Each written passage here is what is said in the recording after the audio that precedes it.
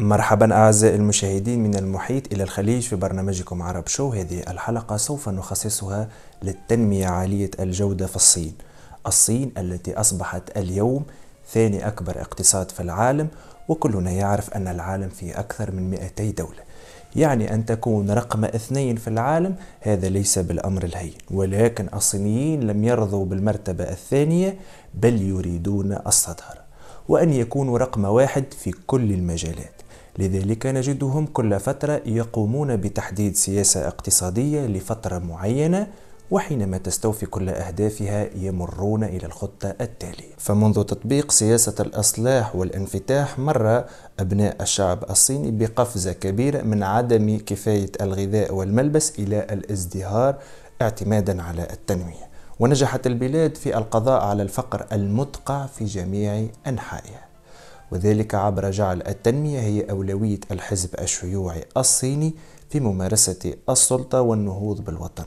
هذا ما أكده شي جي بينغ في تقرير ألقاه خلال الجلسة الافتتاحية للمؤتمر الوطني العشرين للحزب الشيوعي الصيني في 16 تشرين الأول أو أكتوبر الماضي وفي ظل اعتبار التنمية أساسا ومفتاحا لحل مختلف المعضلات وتحقيق سعادة أبناء الشعب في الصين. بلا شك أن بناء دولة اشتراكية حديثة وقوية على نحو شامل ودفع النهضة العظمى للأمة الصينية على نحو شامل لا يزالان يحتاجان إلى الاعتماد على التنمية. ومع التنمية المستمرة للاقتصاد الصيني وتعمق الإصلاحات طرحت الصين تعبيرا جديدا عن التنمية العالية الجودة. للمرة الأولى في المؤتمر الوطني التاسع عشر للحزب الشيوعي الصيني عام 2017 والذي يشير إلى أن الاقتصاد الصيني انتقل من مرحلة النمو السريع إلى مرحلة التنمية عالية الجودة. ونظرا لأهمية هذا التحول وتداعياته على الصين نفسها والعالم العربي خاصة والعالم عموما. قررت إدراج هذه الحلقة في سلسلة قيامة دولة والتي فيها أغلب القفزات الاقتصادية التي شهدتها دول العالم. وبناء على ما سبق ذكره يمكن الآن أن نتساءل عن أهم خصائص التنمية عالية الجودة في الصين وما هي تداعيات النجاح الصيني في هذه التجربة على العالم وما هو الدرس الذي يجب أن يتعلمه العرب من التجربة الصينية؟ كل هذا وأكثر سوف أشرحه لكم بعد هذا الإنترو. أنا حمدي القروي عرب شو.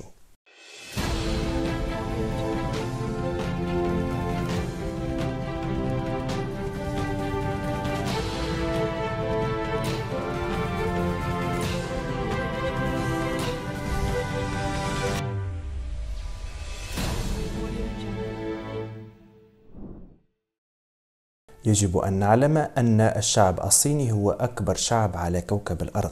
يكفي أن نعرف أنه من بين كل سبعة أشخاص على الأرض يوجد واحد يحمل الجنسية الصينية على أقل تقدير.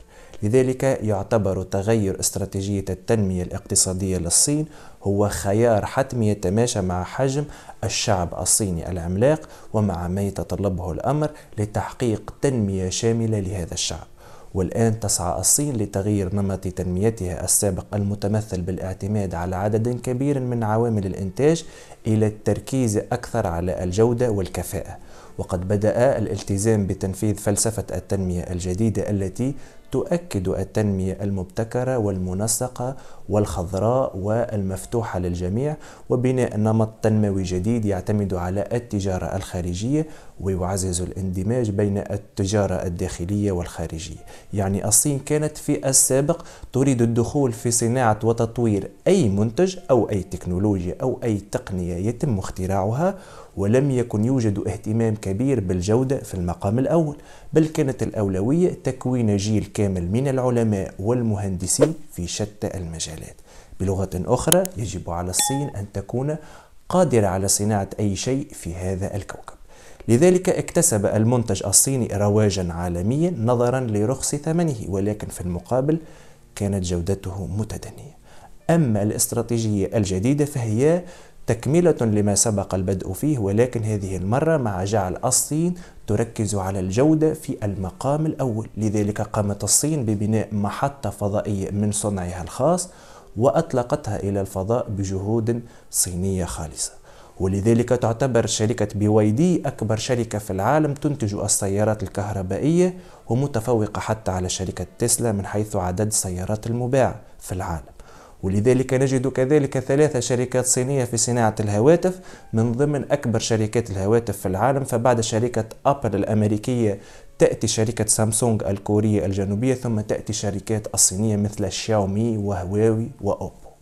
وتخيلوا أن العالم فيه ألاف الشركات لصناعة الهواتف وأنت لديك ثلاثة من بين أكبر خمسة شركات في العالم. وهذا المثال قطرة من بحر ما تخطط الصين للقيام به في الفترة القادمة. فلقد أكد شي جي بينغ في آخر خطاباته لإنجاز بناء دولة اشتراكية عصرية قوية على نحو شامل يتعين علينا التمسك باتخاذ دفع التنمية عالية الجودة كأولوية قصوى.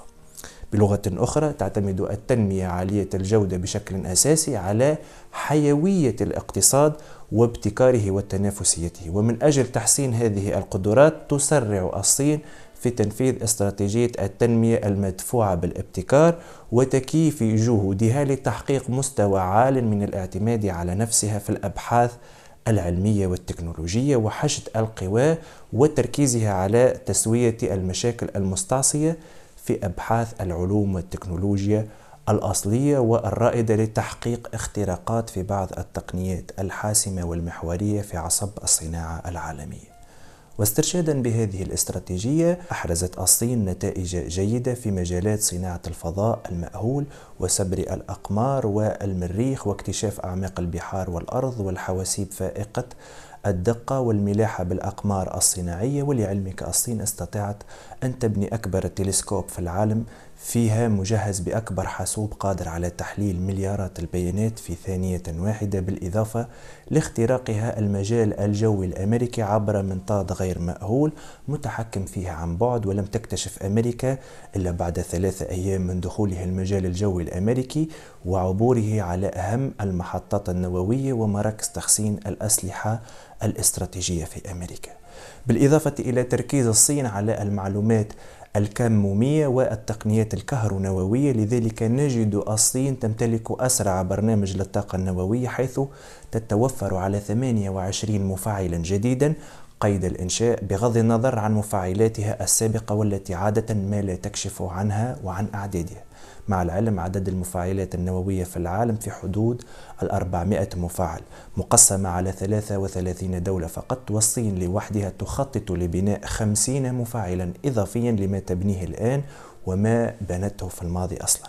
كذلك آلة الصناعة الصينية تركز على صنع الطائرات المدنية المخصصة للركاب عبر شركاتها المملوكة للدولة مثل كوماك فخر الصين للصناعات الجوية. لتنافس شركة إيرباص وبوينغ الأمريكية التي تمتلك لوحدها أكثر من 90% من صناعة الطائرات المدنية والتجارية.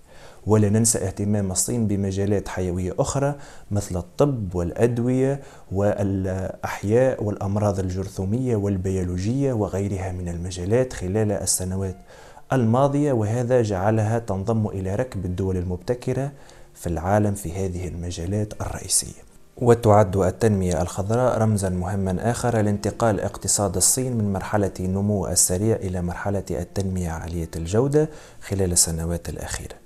دفعت الصين التحول الأخضر إلى نمط التنمية وتنفيذ استراتيجية الترشيد الشامل وتطوير الصناعات الخضراء والتخفيض من الانبعاثات الكربونية والدعوة إلى الاستهلاك للمنتوجات المقتصدة للطاقة. في الوقت نفسه تتمسك الصين بالانفتاح العالي المستوى على الخارج وتدعيم التنمية عالية الجودة لبناء المشترك للحزام والطريق مع الدول العربية وتتقاسم معها عائدات التنمية. وخلال سنوات استمر تعميق التعاون بين الصين والدول العربية أثمر سلسلة من المشاريع الضخمة في مجالات الطاقة والاتصالات والمناطق الصناعية وزاد التعاون العلمي بين الجانبين وتطوير التعاون في مجالات الطاقة النووية واكتشاف الفضاء والأقمار الصناعية والطاقات الجديدة.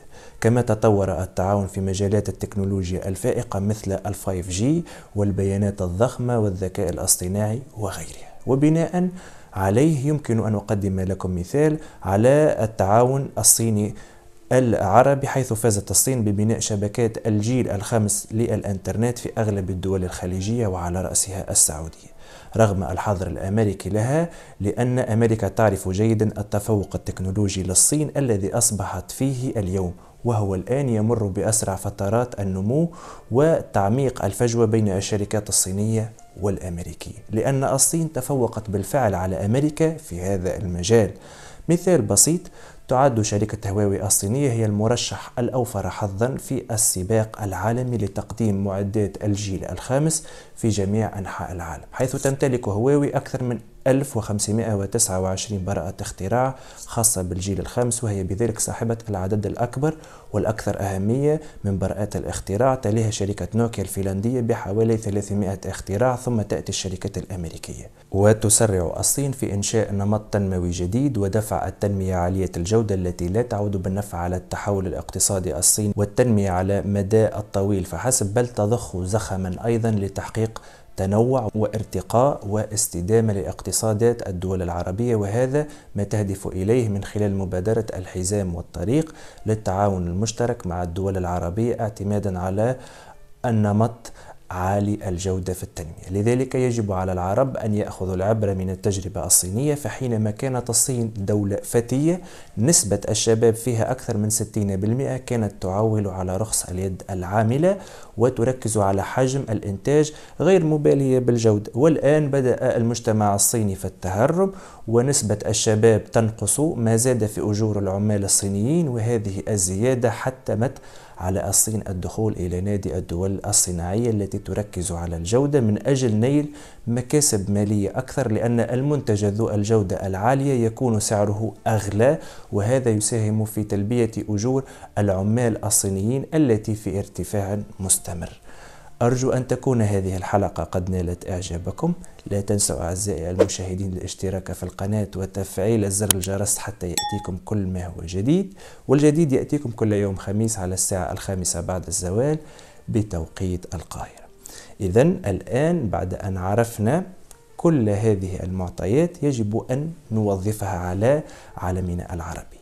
هذه فرصة مهمة للدول العربية الصاعدة خاصة مصر التي تشهد تفجرا ديمغرافيا دولة فتية سوق ضخمة. صحيح أن مصر لا تقارن بالصين فالاقتصاد الصيني كبير جدا وحتى نسبة السكان في الصين أكثر من آه، مصر بأربعة عشر مرة.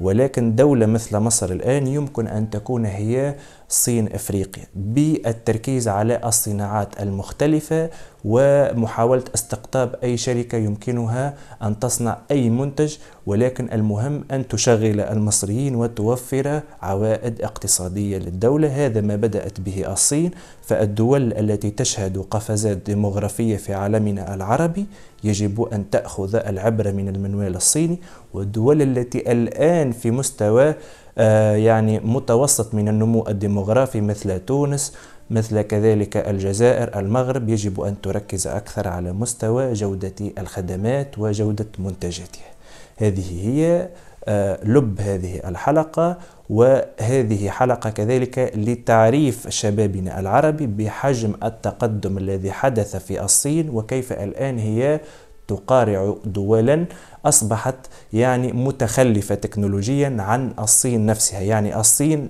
كانت متخلفة وصلت إلى ما وصل إليه الأوروبيون والأمريكان وغيرهم والآن بدأت في سباق لتجاوزهم وبالفعل تجاوزتهم في عدة صناعات مهمة وما زالت سوف تتجاوزهم في السنوات القليلة القادمة. كان معكم حمدي القروي عرب شو.